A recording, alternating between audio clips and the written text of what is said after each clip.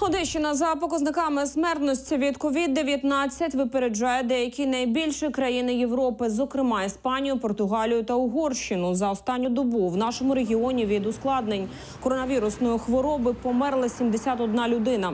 Ми обігнали Італію, де за добу зафіксували 63 смерті. Однією з європейських країн з найбільшою добовою смертністю є Велика Британія.